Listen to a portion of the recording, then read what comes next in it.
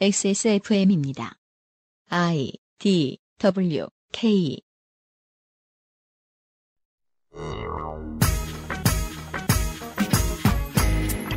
어제에 이어 MLB 파크를 비롯한 커뮤니티에서 자신들의 기사 내용과 논조, 자신의 커리어를 자신의 신원을 밝히지 않고 옹호하며 여론 형성을 꾀한 것으로 의심되는 MBC 스포츠 플러스 뉴스 기자들의 사례를 돌아보고 있습니다.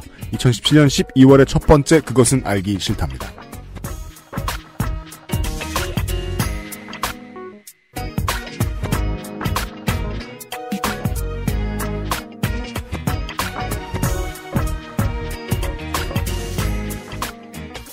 한국 언론의 부끄러운 혹은 앞으로 계속 부끄러울 에, 혹은 나중에 되게 크게 부끄러울지도 모르는 어떤 그림을 보여드리고 있었습니다.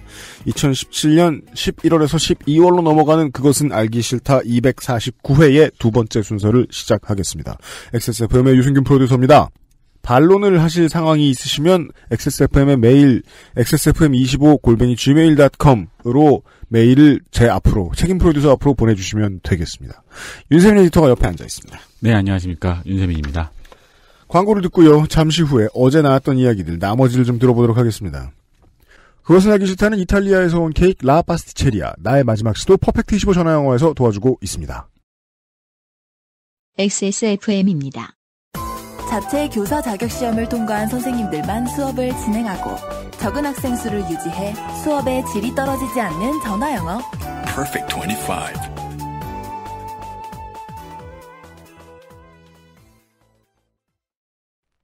Maestro il pasticcere. La pasticceria. 주말에 와인 파티 할 건데 마리아주로 뭐가 좋을까? 와인 파티? 그럼 내가 빠네또네를 준비할게. 빠네또네? 자극적이지 않고 특유의 풍미가 살아있는 이탈리아 전통빵. 와인에도 샴페인에도 잘 어울린다고. 이거 되게 큰데? 안 남기고 다 먹을 수 있을까? 걱정 마. 천연 발효로 만들어진 빵이라 남더라도 넉넉하게 두고 먹을 수 있어. 방부제가 많이 들어갔나? 아니, 그 흔한 이스트조차 들어가 있지 않아. 그게 장인의 기술인 거지. 국내 베이커리에서 경험해보지 못한 맛. 이탈리아에서 온 케이크 라 파스티체리아. 콕 집어 콕. 깔끔한 맛의 경기도 김치를 만들기 어려울 땐 콕 집어 콕. 오차 없이 지켜지는 절임 과정, 양념 배합, 저온 발효, 숙성. 정부가 보증한 전통 식품 인증 업체예요. 그러니까 김치가 생각날 땐 콕 집어 콕. 당신이 잉여여도 직업이 있어도 당신이 미대생이어도 미대 근처도 안 가봤다 해도 당신이 공부 노동자여도 그냥 노동자여도 XSFM과 크리스마스를 함께 하실 수 있습니다. 요즘은 팟캐스트 시대 187회 공개 방송 대전은 팟캐스트 시대 2017년 12월 24일 오후 2시 30분 서대전 내거리역 7, 8번 출구 대전 예술가의 집 누리홀에서 안성준 군과 UMC를 데리고 찾아뵙겠습니다. 엑세스몰에서 12월 2일 토요일 오전 11시에 예매를 시작합니다.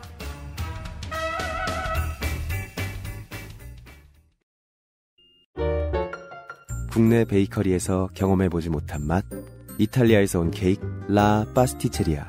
Maestro il pasticcere. La pasticceria. 광고 순서상 빵 얘기인가 봅니다. 김상조 독점거래위원장이 지금 코가 꽉 막혀 있습니다. 안녕하십니까. 네. 새로운 사람 같지 않아요? 많이 아픈 새 직원 같아요. 아프지는 않은데 목소리가 많이 변했네요. 우수에 젖어 있어요. 아, 라파스티체리아 연말 할인 행사를 시작합니다. 좋습니다. 먼저 알라떼 음. 밀크 초콜릿으로 만든 그 빠네토네죠. 그게 겉에서 보면 이제 애호박에서 어른 호박으로 발전 중인 크기이잖아요. 애호박 이야기하지 마요. 왜요? 예? 아 그래. 알라떼. 네. 그 멀리서 보면 거대한 밀크 초콜릿 덩어리 같아요. 근데 겉에입니다, 그냥. 네. 그리고 비앙코 화이트 초콜릿으로 만든 거죠. 예, 500g이 16,900원. 음. 그리고 1kg 1kg이 28,900원으로 파격 할인이라고 하네요. 그러니까 이 가격은 아시는 분들만 합리적이라는 걸 아시는 수준입니다. 그렇습니다. 그리고 12월 중에 구매하시는 고객분들 중에 100번째 구매 고객과 300번째 구매 고객한테 저희가 드릴 건 블루투스- 없고 예, 소니 블루투스 스- 스피커를 증정한다고 하네요. 특이합니다. 저희 몰에 있는 물건도 돌려막고 있습니다. 아우, 잘 몰랐는데, 한 달에 빵이 100개 이상 팔리나 보네요. 아 그렇구나. 되게 대범한 수치를 잡으셨군요. 네. 300번째면 스피커를 주겠다. 이게 스피커를 안 주려는 심사인지 그럴 모르겠습니다만. 수도 있죠. 네. 네. 그리고 간혹 빵이 너무 비싼 거 아니냐라는 음. 그런 의견을 받으셨다고 해요. 네. 그런 질문 하시는 분이 있대요. 네. 물론 저는 이제 자신을 하는데 안 드셔보셔서 그렇다. 혹은 커피숍에서 빠네토네 같은 거를 안 사보셨기 때문에 그렇다. 물론 우리는 모두 그렇습니다만. 네. 아니 뭐 일반적으로 빵이라고 하면은 옛날 국진이 빵, 뭐 핑클빵 세대라고 하면은 뭐 한 500원 정도부터 아, 그런 세대야. 있잖아요. 네, 하긴 네. 그 500원 주고 샀는데 저 실도 껴주고 네. 띠부띠부 하는. 요즘 생활의 달인 패턴을 아세요? 뭐, 뭔데요?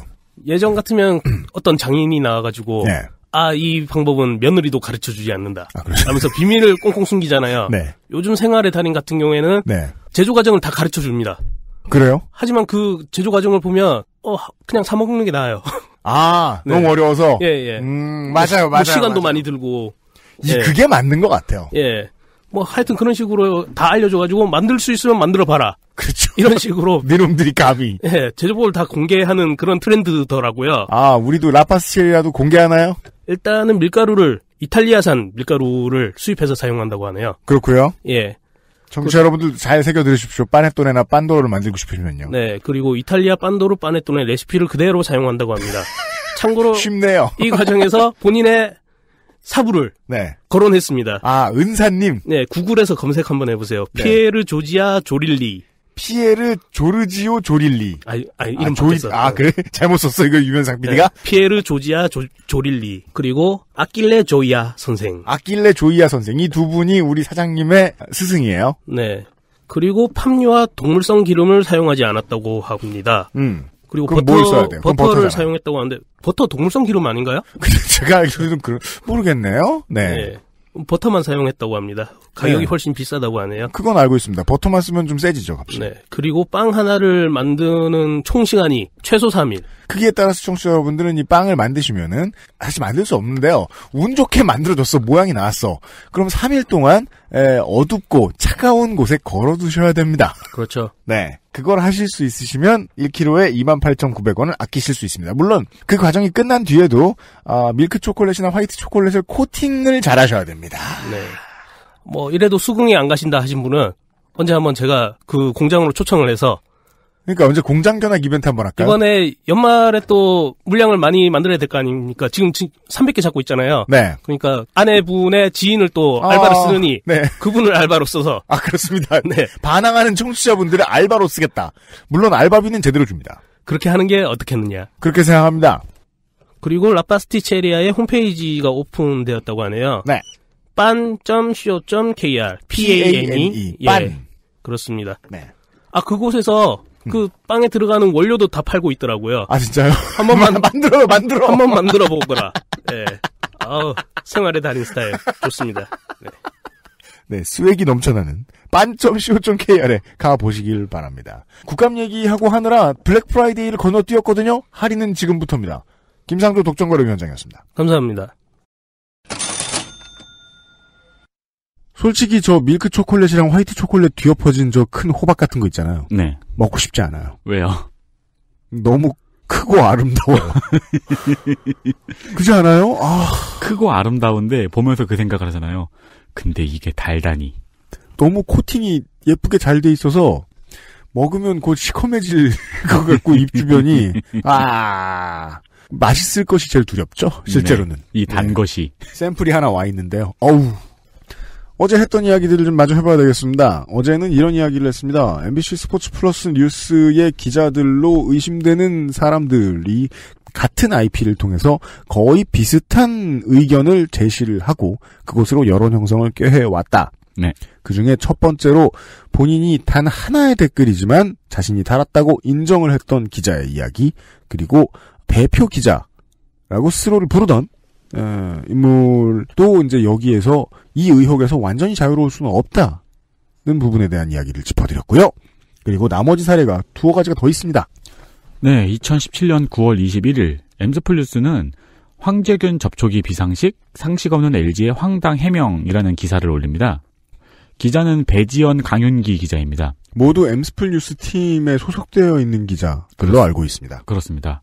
이 기사의 내용은 LG가 황재균 선수와 접촉했다는 엠스플의 보도를 LG가 다른 언론 인터뷰를 통해서 반박을 했거든요. 음. 그 반박한 점을 예, 이제 논리적 모순 같은 거를 꼬집고 있는 칼럼 같은 기사입니다. 야구를 좋아하는 저 같은 팬들이 보기에도 굳이 왜 이 정도 글을 기사로 올려야 했을까라는 생각이 드는 부분들은 좀 있습니다. 그 기사를 쓰는 인물이 기자가 다른 건 몰라도 화가 많이 나 있어요. 음, 네, 맞아요. 과연 LG가 말하는 상식은 무엇일까? 기업이 말하는 상식은 무엇일까 같은 문장을 기사에다 쓰고 싶을 때는 보통 사회부나 정치부에서는 이 기업이 기업 윤리에 어긋나는 처사로 인해서 뭐 무슨 사람이 죽었다거나 판결이 나왔다거나. 그런 정도의 심각한 일이 있을 때 쓰는 말이거든요. 심지어 그러나 엠스플 뉴스가 확인한 결과 송 단장의 해명은 하나부터 열까지 거짓말이다. 라는 문장이 있는데 어, 실제로 사실이 아니라고 하더라도 기자가 쓰도록 권장할 수 있는 단어들의 조합은 아닙니다. 음, 네. 개인 감정이 많이 보인다고 해야 할까요? 가끔 이런 기사가 있긴 있죠. 언론사 본인이 자아로 나와 있는 기사들. 그래 보입니다, 지금. 이 기사가 나가고 30분 뒤에 그 엠팍에는 닉네임 00000 어제도 잠깐 읽어드렸어요. 네. 아이디는 디노에고 509입니다. 디노 에그 509. 네. 네. 이 유저가 지피셜이라는 말머리를 달고요. 지피셜이라는 전문 용어가 나옵니다. 뭐 지인피셜이라는 말의 그 요약이죠. 지인에게 네. 들은 얘기다. 내가 구단을 알고 있거나 구단 주변 사람들을 알고 있는 지인에게서 들은 이야기이므로 오피셜일 수도 있다. 네. 라는 이야기. 그 말머리를 달고 LG 트윈스와 황재균 선수가 이미 접촉했을 거라는 게시물이 올라옵니다. 네, 황재균 선수는 최근에 이제 한국으로 돌아오셔서 현재는 이제 KT 위즈와 계약을 한 상태죠. 그러니까 그 기사를 링크하진 않았는데요. 그 기사의 내용과 동일한 내용을 지피셜이라면서 올린 거죠. 아, 근데 문제는 이 아이디가 이 dino egg 509라는 아이디가 엠스플 뉴스의 이동섭 기자의 이메일과 동일하다는 겁니다. MLB 파크에 글을 쓴 사람의 아이디도 dino egg 509. 네. 이동섭 기자의 아이디도 dino egg 509 골뱅이 mbcplus.com. 네. 네. 그 이동섭 기자가 쓴 기사는 아닌데요. 음. 여기서 제가 주목한 점은 뭐냐면은 그 위에 기사가 말씀드렸듯이 개인적인 논조가 강한 기사잖아요. 음. LG와의 약간 진실 공방 같은 느낌, 네. 의견 차이 같은 느낌의 기사인데 음. 그 기사가 올라오고 30분 뒤에 어 지피셜이라면서 커뮤니티에 마치 엠스풀의 기사가 맞다는 내용의 게시물을 올린 거예요. 심지어 지피셜이라고 앞에 말머리가 달리고 올라가는 글은 여전히 추측성이라고 스스로 인정하면서 올리는 글들이거든요. 보통 MLB파크에 보면. 네. 그래서 MLB파크의 유저분들도 지피셜이라고 나온다고 해서 친구들하고 이제 심심풀로 이야기는 하지만 그렇대라고 확신을 가지고 막 대성통곡하고 그러는 유저 없, 없습니다, 이제. 신뢰도가 그렇게 높지는 않다는 거거든요. 지피셜이라는 말이 들어갔다는 건. 그렇죠. 네. 근데 이제 그 엠스풀이 LG와 약간 진실 공방 같은 걸 하고 있는데 그 와중에 이런 게시물을 엠스풀 내부의 구성원이 올린다는 거는 예. 엠스풀의 취재 내용이 맞다는 물살을 이끌려는 의도가 엿보이잖아요. 같은 인물이라면 혹은 내부 인물이라면 그렇게 보는 것이 타당하겠죠. 네. 네. 어, 이 아이디에 비슷한 활동이 또 있습니다. 김원익 기자의 기사인데요. 네. 어, LG 연승과 인내심은 사라지고 남탓만 난무라는 기사입니다. 아, 너무 감정적이에요. 네. 제목이. 여튼 내용 그런 게 있고요. 음. 이 기사는 LG의 성적 부진을 전하면서 프런트가 현장에 개입하고 있다는 소문을 전하고 있는 기사입니다. 어, 이것도 보면 이제 관계자가 전하기에, 관계자에 의하면 이런 식으로 이제 기사가 전개가 돼요. 네, 관계자가 누군지는 보통 적시하지 않죠. 뭐 그것이 꼭 나쁜 건 아닙니다. 네. 네. 그리고 이 기사가 올라오고 20분 뒤에 아까 말씀드린 닉네임, 20분 뒤에 네. 닉네임 00000은 사이다 팩폭 기사라면서 해당 기사를 엠팍에 퍼옵니다. 사이다 팩폭 기사라는 말은 요즘 게시판 유저들이 쓸 수 있는 기사에 대한 최고의 칭찬입니다. 네, 그렇죠. 그것이 이제 동일 IP. 네. 네. 그러면서 엠팍에 퍼오게 되는 거죠. 음. 어, 이를 두고 엠팍에서는 영혼의 티키티카라는 반응이 있었습니다. 그게 뭐예요? 그 바르샤의 축구 티키티카 패스를 많이 해서 점유율을 높임으로써 아, 농구로 어시스트 왕. 크리스 폴. 네, 아, 알겠습니다. 네. 그래서 결론은? 해당 아이디는 엠팍을 탈퇴했습니다. 그렇습니다. 그리고 엠스플뉴스에도 이 사건 이후로 이동섭 기자의 기사는 올라오지 않고 있더라고요. 네. 어제도 잠시 MBC 스포츠 플러스 뉴스를 대표에서 올라갔던 운영자의 사과문에 대해서 이야기를 해드렸잖아요. 그 당시에 제가 말씀드리면서 구성원이 잘못을 했다라고 단수 형태로 표현을 함으로써 이것이 복수인지 아닌지 알 수 없게 표현된 측면이 있다라고 제가 지적을 했었는데 네. 어, 이동섭 기자도 현재는 지금 징계 중인 것이 아닌가라고 음. 추정을 해볼 수 있다. 예. 혹은 그냥 뭐 잠깐 징- 뭐 쉬고 있을 수도 네, 있고. 네, 다른 네. 징계를 받지 않았고. 네. 네, 그리고 다음 또 다른 기자도 있습니다. 음. 전수훈 기자입니다. 네. 어, 문제 IP 사용 이력이 있습니다. 같은 IP 사용 이력. 네. 네. 어, 이 IP가 전수훈 기자라고 짐작하는 이유는 닉네임은 벚꽃동산이라는 닉네임이었거든요. 네. 전수훈 기자가 취재 갔던 구장의 날씨 사진을 같은 날에 벚꽃동산이라는 닉네임이 올린 닉네임이 올린 적이 있기 때문입니다. 아, 같은 사진은 아니었겠죠? 같은 사진은 아니었어요. 네. 하지만 비슷한 날씨의 사진. 그러니까 같은 날씨 같은 구장. 아, 날. 같은 구장이면 확실한 거죠. 네. 예. 물론 이제 거기 간 다른 관객일 수도 있는데 그럼요. 근데 IP가 똑같다는 거죠. 벚꽃동산이 예전에 쓰던 다른 글에 쓰던 IP가 죄송합니다. 네. 네. 알겠습니다. 역시 동일 그 아까 말씀드린 그 IP로 엠스플의 기사를 많이 퍼오는 활동을 했습니다. 아, 그거 하나만 한 건 아니군요. 이 아이디도 M, MBC 스포츠 플러스 뉴스의 기사를 많이 퍼왔다. 네, 아까, 아까 말씀드린 그 날씨는 그 네. 사실 그냥 이게 어, 어, 이 아이디 이상하게 엠스플 뉴스, 이 아이디도 엠스플 IP를 썼네? 예. 엠스플 옹호하는 글이 많네? 음. 이 벚꽃 동산은 누구지? 누구지? 하고 찾다 보니까, 어, 취재 간 날 그 구장 사진 찍어 올렸네? 라고 추정할 수 있게 된 것이다. 네, 그렇습니다. 예, 예, 구장 사진 예. 찍어 올린 건 잘못이 아니죠. 네. 그럼요. 근데 특이한 점은 이 이게 전수훈 기자의 아이디와 이 IP가 엠스플의 IP라고 추정을 한다면 음. 이 전수훈 기자의 기사를 퍼온 게시물에 사람들이 막 댓글로 악플을 달았어요. 음. 거기다 전수훈 기자를 욕하는 댓글을 달았다는 점입니다. 이 벚꽃동산이라는 닉네임이요. 전수훈 기자로 예측되는 사람이 전수훈 기자를 욕하는 댓글을 달았다. 네. 아까, 아까 우리가 어제 설명해드렸던 사례들과는 이 태도가 다르군요. 네. 네. 뭐 전수훈이 기자를 잘못 쓴 건데 왜 저한테 뭐라 그러세요라든가 보겠습니다. 댓글 일부입니다. 벚꽃동산 닉네임이 같은 IP고요. 어제 계속 말씀드렸던 것과. 네.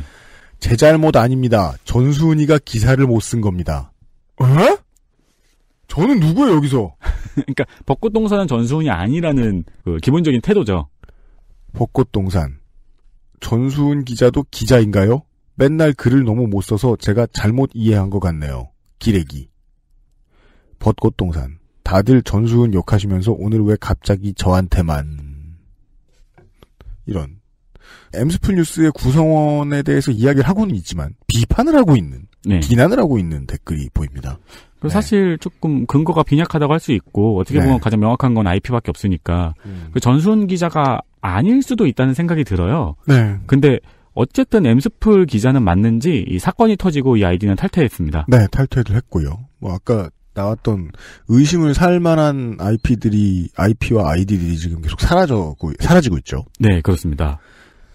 한편 이 전수훈 기자는 그 평소에 하나 팬들한테 욕을 조금 먹는 악명이 좀 있었던 아이 기자였나 봐요. 네, 뭐 하나 쪽 담당 기자였을 수도 있죠. 네.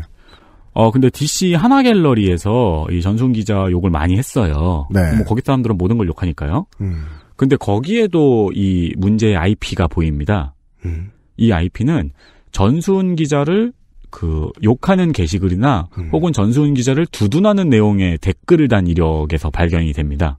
DC 같은 경우에는 앞에 여섯 자리 혹은 앞에 네 자리에서 다섯 자리 이 정도만 보이잖아요. 네. 근데 앞에 보이는 그 IP는 우리가 MLB 파크에서 봤던 IP하고 동일한 IP네요. 네. 그건 그렇지 팩트 체크 제대로 했지 사실. 전수훈 까는 놈들 이해 안 감. 뭔 소리야 옳은 소리 했더만. 이게 등의 댓글을 달았습니다. 그렇죠. 그리고 네. 이제 전수훈 기자를 비판하는 게시물이 있었는데 그 밑에는 아까 말씀드린 그 IP가 너 누군지 안다. 언론사 까기 전에 글 내려라.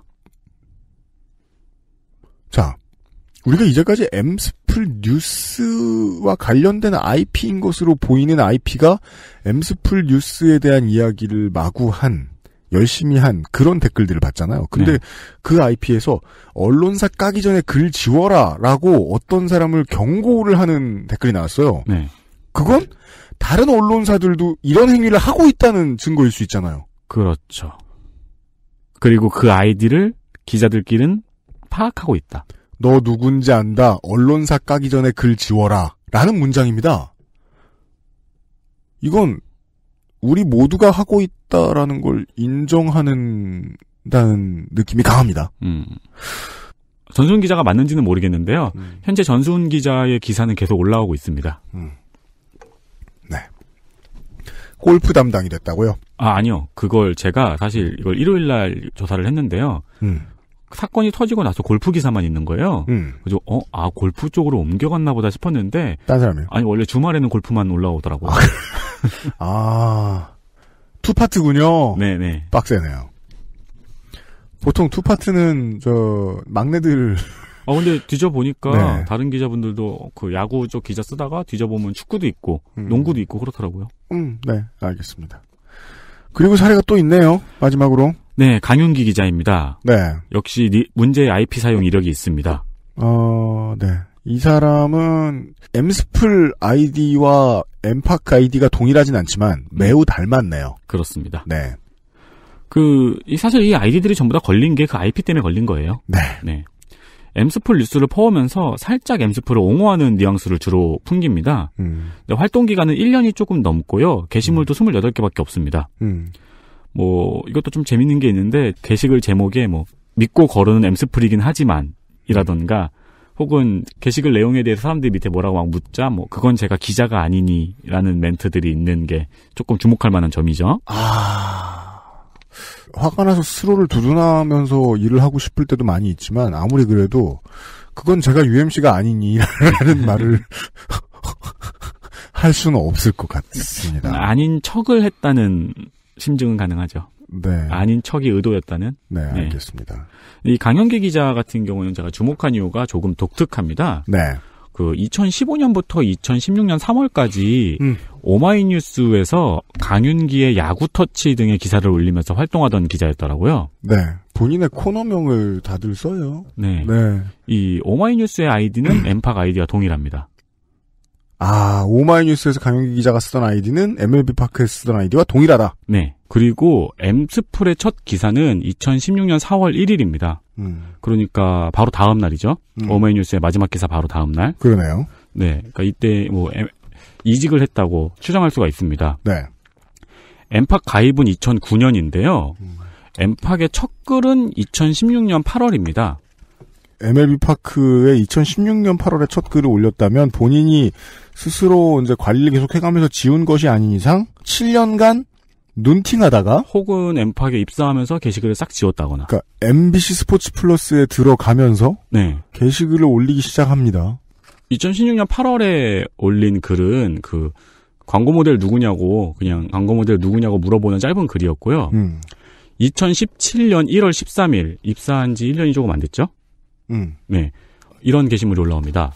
믿고 거르긴 하지만 엠스플 사이트 기사 보니 오늘 발표 나겠군요. 그리고 이 위로 모든 글이 엠스플 뉴스 글을 퍼오는 글입니다. 음.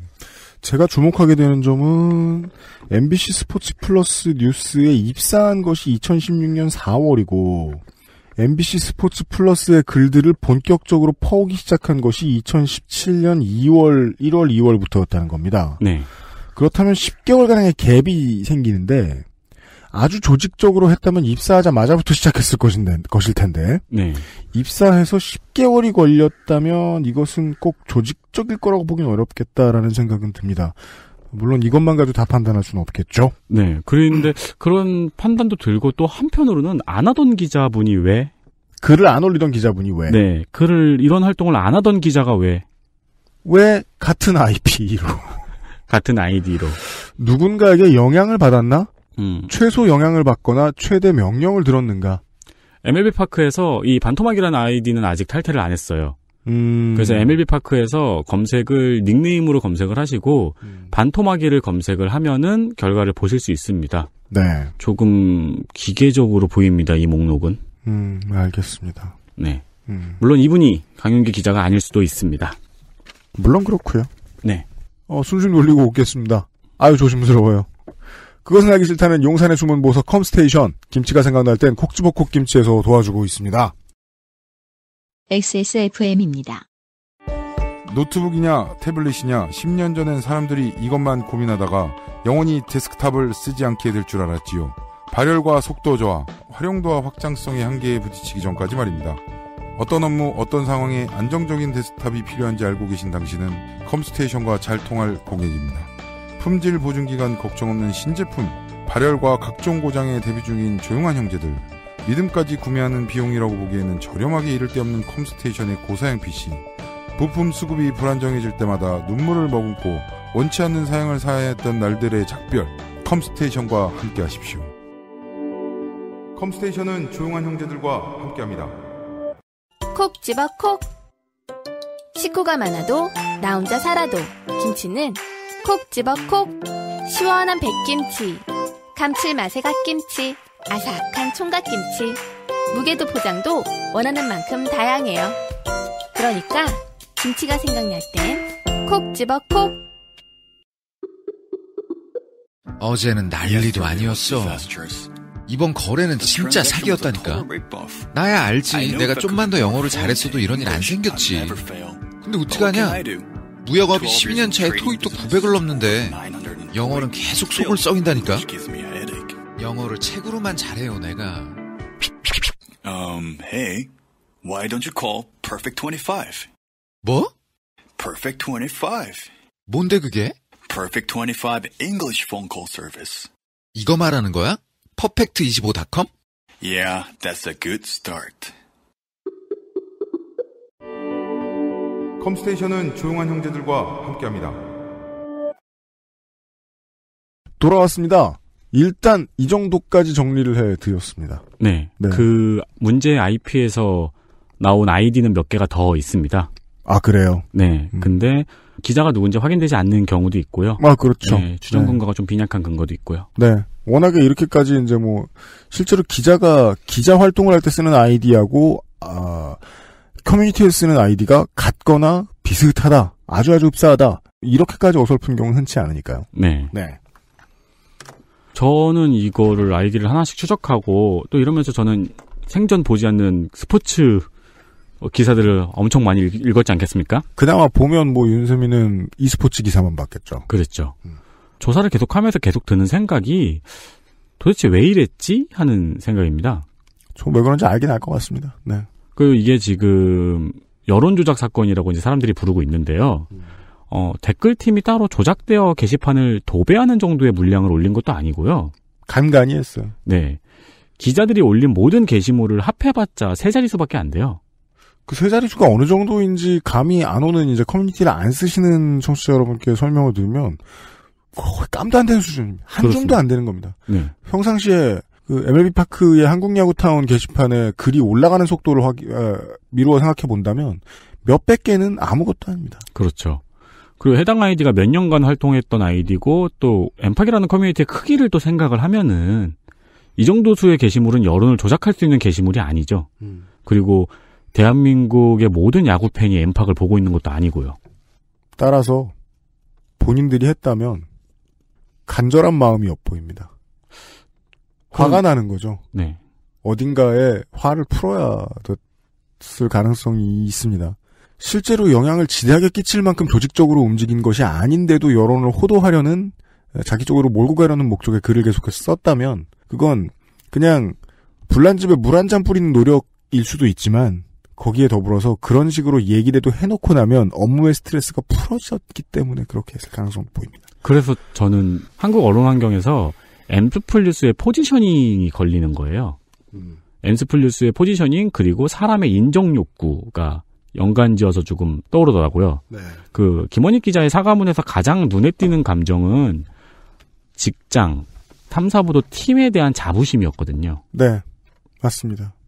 그래서 제가 이 사례를 조사하면서 어, 유피님한테 JTBC 취재진에게 손석희 사장이 보냈던 편지가 떠오른다고 말씀을 드렸던 겁니다. 네, 처음에 그 얘기를 윤세민 에디터가 해줬기에 저도 그것을 이제 읽어드렸던 거고요. 네, 뭐 사건의 무게감은 좀 다르고 그리고 JTBC 같은 경우는 보도가 사실이었고 엔스플뉴스는 약간 주관적인 논조로 비판을 받기 때문에 100% 맞다고 이야기할 수는 없지만 기사를 쓰는 사람의 마음을 한번 생각해 보는 거예요. 탐사 보도를 다니는 기자의 마음, 많은 것을 밝혔던 기자의 마음을 생각을 해 보면은 왠지 그 당시 손석희 사장이 말했던 경고와 비슷한 스토리 그리고 다른 엔딩인 것처럼 느껴지더라고요. 그렇습니다.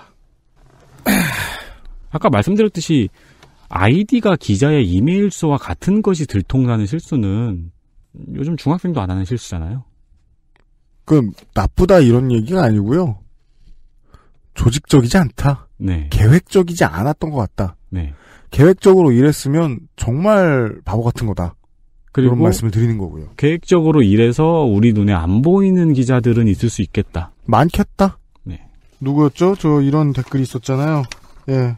너 누군지 안다. 언론사 까기 전에 글 지워라. 한 15년 전에 공연을 어디 클럽에 갔다가 그 사장님하고 이제 얘기를 하는데 친한 사람이 됐어요. 한동안.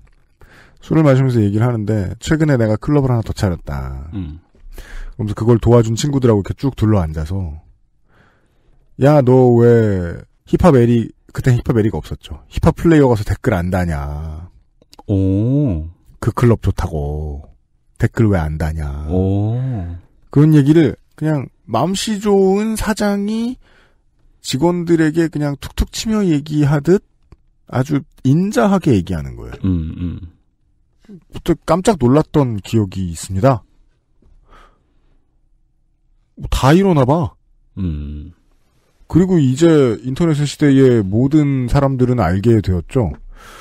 어, 어떤 게 바이럴 마케팅이고, 어떤 게 아닌지를 모르겠다.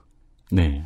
바이럴 마케팅이 아니게 시작한 것들도 광고를 하는데 그 광고가 나쁘다는 게 아닙니다.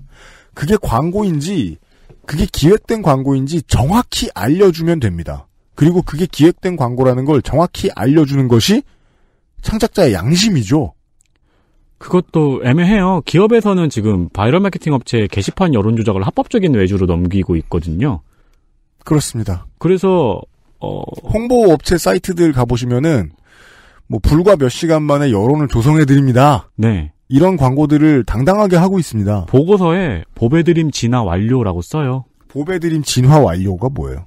음, 보배드림에서 악명이 떨쳐지면 안 되는 회사들이 있죠. 아, 불을 꺼준다? 음. 음, 무슨 뭐 부품업체라든가 정비업체 같은 곳에서, 네. 어, 그 이러면은 다 좋은데, 난 아픈데, 사용자들이 평상시에 이제 쓰시는 분들이 네티즌이 잘하는 업체도 못 믿게 돼요. 네. 잘한다고 칭찬하다니 거짓말이네. 잘하는 업체도 못 믿게 됩니다. 음. 이런 비슷한 사례들을 너무 많이 봤는데 가장 이해가 쉽고 명확해 보이는 사례를 골라서 청취자 여러분들께 소개를 해 드렸습니다. 근데 이런 게 아니더라도요. 자기 이름을 버젓이 내놓고 더 크게 막 써도 돼. 근데 그게 내 억하 심정에서 어, 내 고정관념에 너무 매몰돼서 그렇게 취재를 한 건지 내가 유명해지고 싶어서 내 이고를 내 자 부풀어 오른 자아를 자랑하려고 취재를 한 건지 아니면 공익적인 목적으로 하려고 스스로를 최대한 뒤로 밀어놓은 건지 일반 소비자들이 알기가 힘듭니다. 가장 중요한 증거는 저는 그걸 거라고 생각합니다. 그러니까 기자나 언론인이 평상시에 자기를 드러내지 않는 습관을 가지고 있느냐. 네. 언론 맛집을 찾아보시는 데에 중요한 검색 도구로 쓰일 수도 있을 것 같습니다. 평소에 나 예뻐해 주세요, 나 멋있게 봐주세요. 라는 말을 하고 다니느냐. 음. 그런 티가 나느냐. 그러면 안 그래도 기사 못 쓰는 얼- 평론 못 쓰는 언론인이 있을 수 있지만 티를 많이 내면 무조건 그르치더군요. 음. 제가 본 바로는 그렇습니다. 도도님의 어뷰징 필드 생각도 계속 나더라고요. 아 맞아요. 많이 얽혀 있어요. 네. 어, 어뷰징으로 청년들을 빨아먹는 사- 세태가 언론인들이 이런 교육도 못 받도록 만드는데 되게 중요한 역할을 했거든요. 그리고 이런 생각도 했어요. 그때 도도님이 언급하셨던 그 어뷰징 필드에서 일하고 있는 사람들 있잖아요. 네. 하루 종일 복사 붙여넣기 하고 있는 사람들. 음. 그 사람이 이런 걸 하다가 걸렸으면 음. 사람들이 화를 냈을까? 충분히 많이 실망하지 않았나요? 한국 사람들. 아, 그래서. 그럼 뭐 어제 제가 말씀드렸죠. 에, 마무리를 지으면서요. 엠스프 뉴스 탐사보도팀은 훌륭한 탐사보도를 한 게 있기 때문에 네. 이렇게까지 좀 백주대낮에 도마 위에 올라가게 된 측면이 있습니다. 네. 예. 저는 그 팀의 구성원 여러분들께 기회가 없다거나 단죄를 막 크게 받아든다거나 그렇게 생각하고 있지는 않습니다. 실제로 뭐 회사가 징계를 할 것이고 그 징계가 적절하길 바라고 특히나 징계를 통해서 얻어지는 재교육이 훌륭하길 바랍니다. MBC 스포츠 플러스는 어, 스포츠 채널들 가운데서도 가장 노하우를 많이 가지고 있는 업체고 물론 뭐 지면 언론을 운영한 지는 오래되지 않았지만 예, 좋은 선배들이 많은 곳이니까 좋은 구성원들이 많은 곳이니까 다시 잘하실 수 있는 날도 올 거라고 봅니다. 야구 팬으로서는 어떠세요? 안 봐요. 분란 일으키는 건 좋아하는데 뭘. 여기까지가 2012년 첫 번째, 2017년, 2017년 12월의 첫 번째 그것은 알기 싫다였습니다. 내일 이 시간에는 간만에 이제 어, 월간 기획 교양 컨텐츠를 준비를 했습니다. 큰 맘 먹고 네. 다른 것도 막 먹어가면서 준비를 한 코너입니다. 다른 걸 먹어요? 그잖아요. 먹는 얘기잖아요. 아, 그죠. 네. 어, 내일 이 시간을 기대해 주시길 바랍니다. 에, 오늘의 씁쓸한 얘기를 다 들어주셔서 매우 감사드립니다. 아, 죄송합니다. 자꾸, 저, 덧날이 많아서요. 이걸 알아보는 건 우리한테도 도움이 꽤 됐습니다. 훌륭한 반면교사의 사례를 얻은 측면이 있습니다. 이 일 하루 이틀 할 것도 아니고 그동안도 조심한다고 많이 조심했는데 생각보다 조심할 것들이 더 많구나. 언제 큰 회사 가서 어, 징계 먹으면 받는 교육 같은 거 우리도 좀 가서 받고 싶다. 음, 그런 생각 많이 들었습니다. 대한 언론이 가장 약한 부분입니다. 네. 취재하는 사람의 자아를 어떻게 통제하느냐. 아이러니하죠. 가장 약한 부분이자 셀링 포인트니까. 셀링 포인트이기 때문에 더더욱이 절제를 안 합니다. 네. 저희들도 그러고 있는 모습이 있다면 지금 저희들 얘기한 것보다 더 가혹하게 좀 꾸짖어 주십시오. 부탁드리겠습니다. 내일 이 시간에 다른 이야기로 돌아오도록 하겠습니다. 유승균 PD와 윤세민 에디터가 물러갑니다. 안녕히 계십시오. 안녕히 계십시오.